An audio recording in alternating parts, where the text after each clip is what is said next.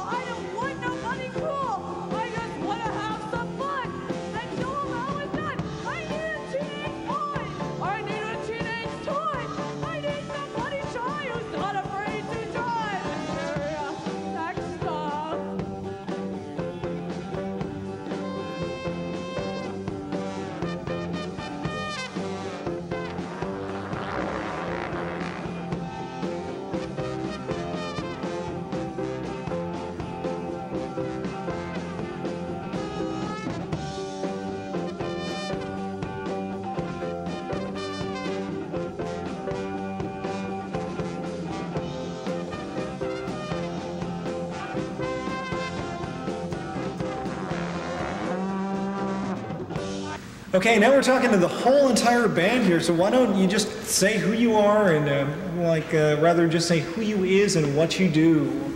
Hi, I'm Dan, and I play guitar for Bean Girl and um, harmonica and some backup vocals and shakers every once in a while. Aries. Aries. Capricorn. Six four nine zero eight nine eight. Capricorn. Rachel, piano. I'm Dale Gonzalez. I play trombone. My zip code's 55405. I'm cool Shannon. I play bass sometimes. That's about it. and now it's your turn. Hello, my name is Rob Steelcheat. I'm an author. And um, he plays bongos. Want to buy my book? It's only five bucks.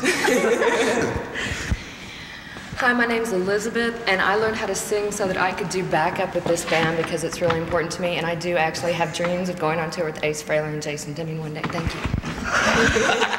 Hi, I'm Steph. I sing for Bean Girl, and I play the horn. I used to play the trumpet, but it broke, and so now I'm playing a bugle that I, I duct taped, So, um, but maybe I'll play my trumpet again sometime when it's working. I'm Jay, a drummer, play a little guitar too, and I got a couple songs that they let me play.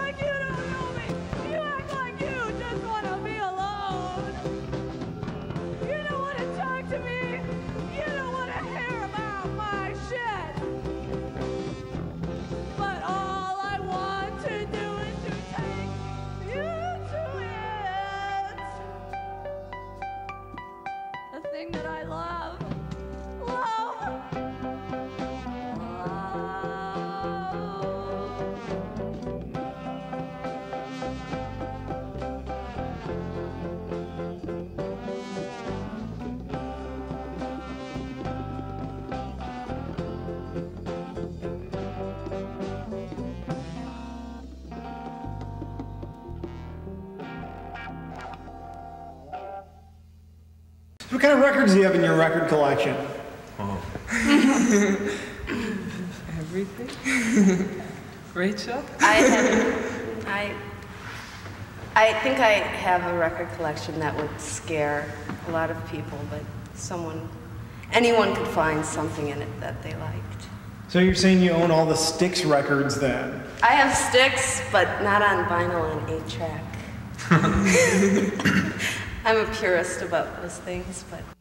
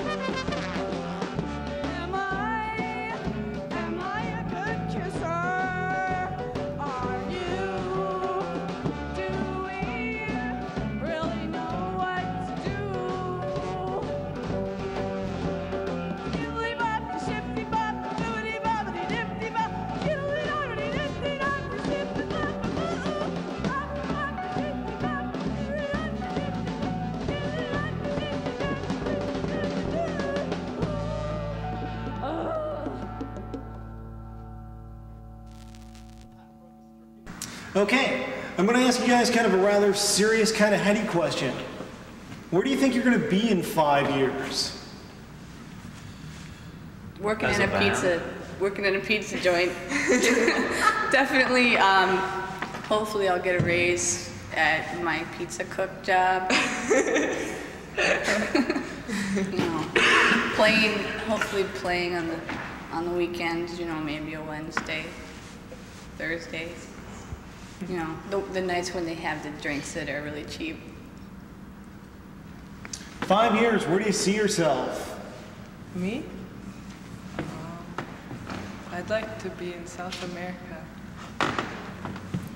Doing. mm, living in the mountains and working in a bar or something. that doesn't have much to do with the band, but I have great hopes for the band too. Serving cocktails for the Sandinistas, I suppose. Maybe, yeah. Five years, where do you want to be? Uh, I don't really care. Somewhere uh, warm, somewhere good tunes, good food. Perhaps hell with a smorgasbord then.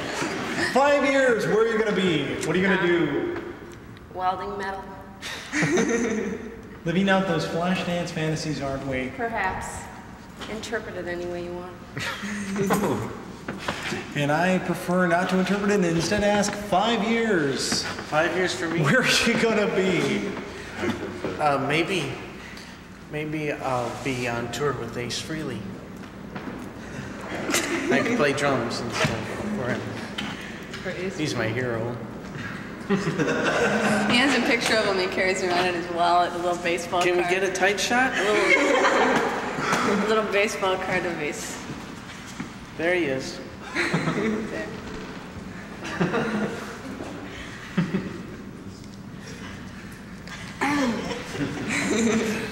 Ace So you hope someday to, to be on a baseball card of your own? Oh no, no, no, no. Just, just Ace, just play with Ace Frehley. What's your favorite Kiss album? Kiss alive. The first, the first Kiss record is my favorite, Which is? and the Kiss, and the Ace Frehley solo record. Didn't you always feel Peter Criss got kind of gypped?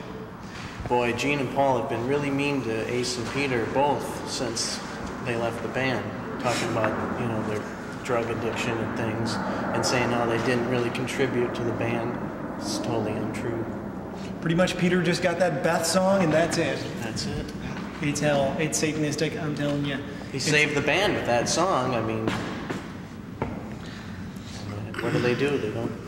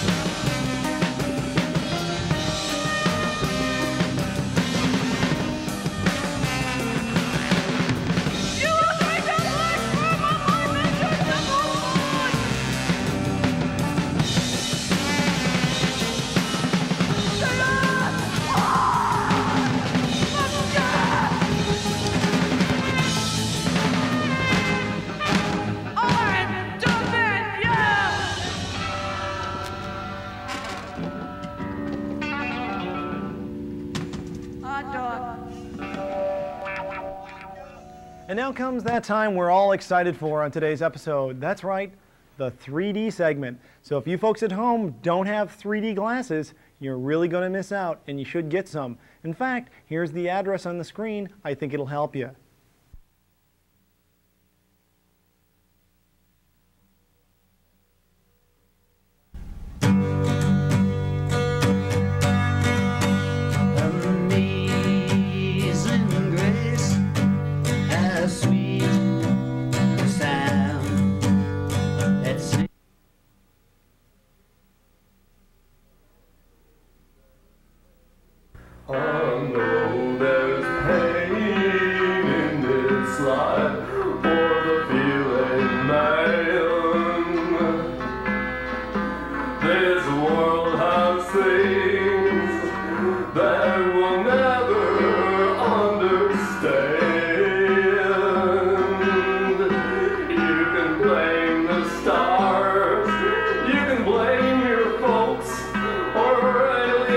Abduction.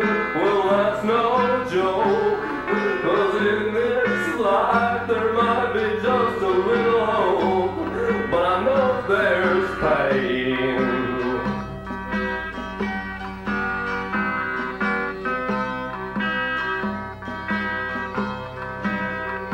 When I wake up in the morning and I have to go to work, late again as usual, I'll show up with a smirk. Kelly's drank all the coffee. Shit, I hope I make it in by 10. Well, hell, who am I kidding? I'll call him sick again. I spend the day a thrifting. Another day down the drain. I guess I just need some company someone to share the pain. Stores are open now, it's thrifting time again. Southwestern print outfit is gone, another bargain lost forever. Do I have enough for the Evel Knievel van? No, never. They've jacked up their prices, yes, for their own devices. Those stinkers, they're out to prey on my vices. I guess I just need some company, someone to share the pain. Stores are open now. It's thrifting time again.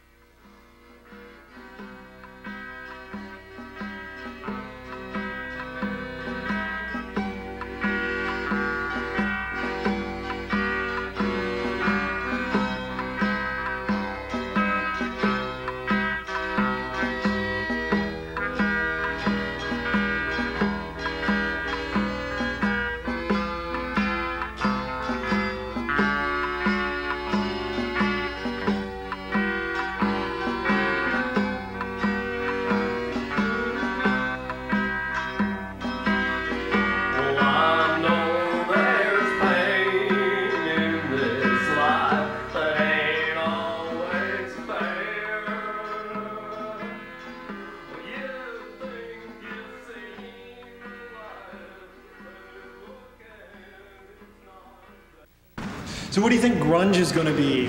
What do you think? Uh, what do you think is going to happen with the next wave of grunge? What do you see coming? I hope it dies out. I hope those bands just start, just keep playing those same dumb major chords all the time, and nobody likes them anymore. That's what I hope. Well, thanks for joining us on this, which I'm sure will prove to be one of the more memorable episodes of What. Make sure and join us again with our next episode, same bat time, same bat channel. In the meantime, I'd like to thank our guest, Bean Girl. See you next time, Buckaroos.